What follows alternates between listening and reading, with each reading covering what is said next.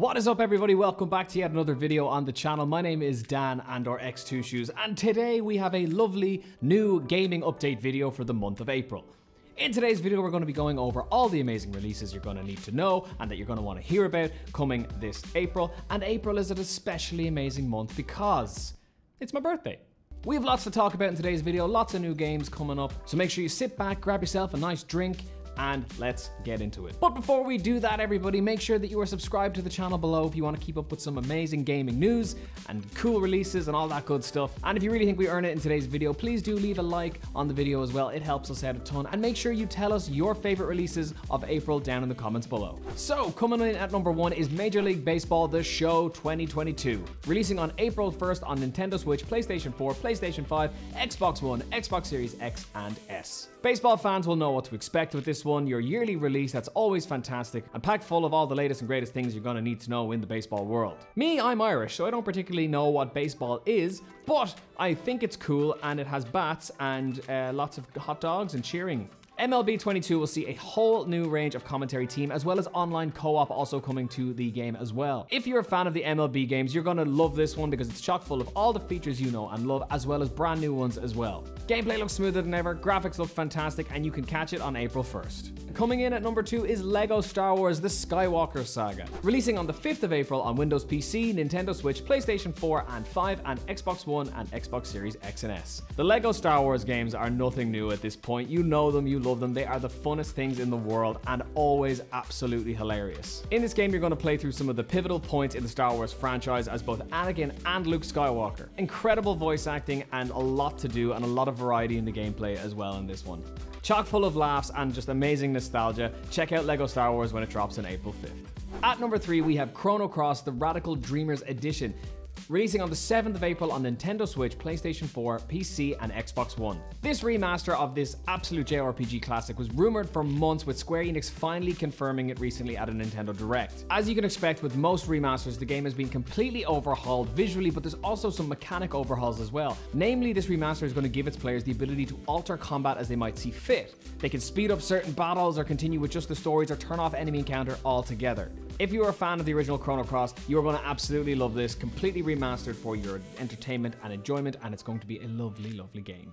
Also, on top of all this, the game also includes an English language version of Radical Dreamers, which is a text adventure game that has a narrative that ties to Chrono Cross. Originally, this was only available in Japan, but now it is available in English and ready for you to play. And next up, we have MotoGP 2022, releasing on the 21st of April on PS4, PS5, Xbox One, Xbox Series X and S, Switch, and PC. Another release this month that some of you may be familiar with already if you've played the previous MotoGP games, and if you have, you should be absolutely just as excited for this one. Firstly, this game looks absolutely incredible, and I've seen footage from it, and at times I was like, is this even a game?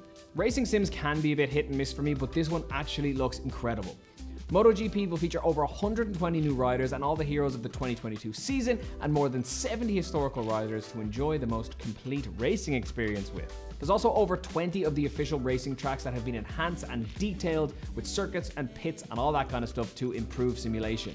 All the classes and rosters are available to grow your career throughout the game, and the game has also a more real than ever feel with new improved physics and mechanics to make this really a true MotoGP racing simulation experience. And finally on our list of releases we have The Serpent Rogue, releasing on the 26th of April on the Switch, Xbox Series X and S, PC, and PlayStation 5. Personally, this is the game that I'm most excited for on this list. The Serpent Rogue is an action adventure, medieval fantasy game with one of the most original art styles I think I've ever seen. The game is built around exploring a medieval fantasy world, mastering the art of alchemy and taming wild creatures. I cannot overstate how much I'm in love with the art style of this game. I think Borderlands meets Diablo meets maybe old school RuneScape looking kind of gameplay. It looks really, really, really nice. Menu system and the crafting system looks absolutely amazing as well, and there's sure to be plenty to do in this open world adventure. I can't wait to dump some hours into this game, and I'm sure it's going to be absolutely amazing come the 26th of April. Now that we have the releases out of the way, now it's time for some wonderful and amazing gaming news to keep you all up to date and informed. First thing we need to talk about is the Hogwarts Legacy State of Play.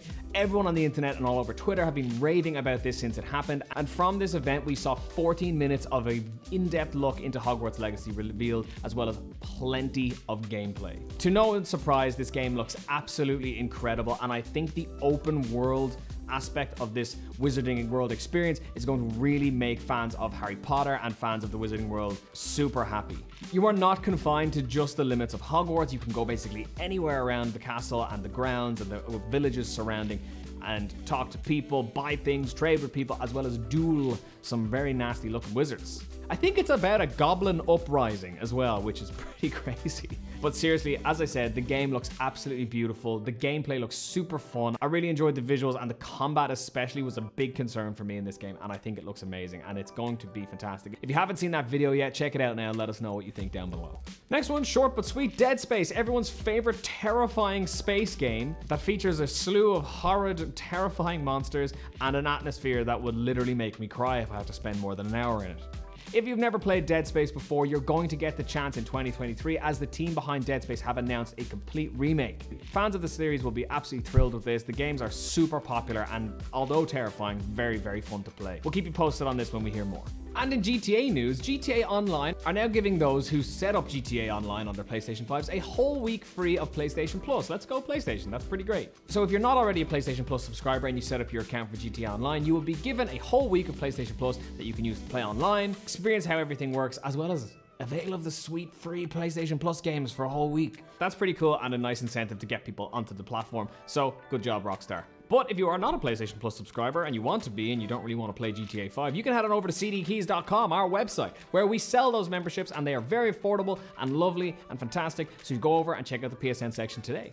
And finally, on our list of news, we have Elden Ring. The fact that it has shipped 12 million copies in its first few weeks of launch. That is absolutely crazy, and I'm sure that if you haven't played Elden Ring, you probably have heard people talk about it. The game is absolutely everywhere, and it's everywhere for a reason. It is one of the best games I've ever played, and the reason I look so tired is because of that game. But seriously, what an absolutely massive feat for From Software. 12 million sales is actually incredible and I cannot wait to see post-launch support for this game and what they're going to do with it. I believe it was Shakira who said, the numbers don't lie, so if you haven't checked out that game and you want to do it, you can also check that out on cdkeys.com as well. But everybody, that is all the news and releases we have to tell you about for this April. If you enjoyed the video, as I said, please do leave a like on it and let us know what you're most excited for down below. My name is Dan and or xTwoShoes and I will see you in the next one. Peace out, much love, bye bye.